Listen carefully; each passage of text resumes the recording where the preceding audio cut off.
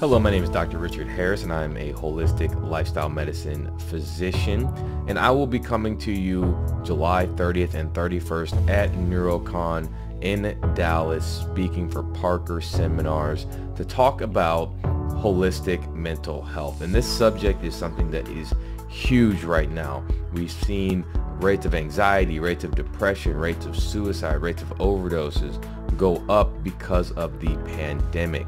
And what we're going to cover is why the holistic approach is necessary, how to incorporate that into your practice, and even talk about things like targeted supplementation for mental health.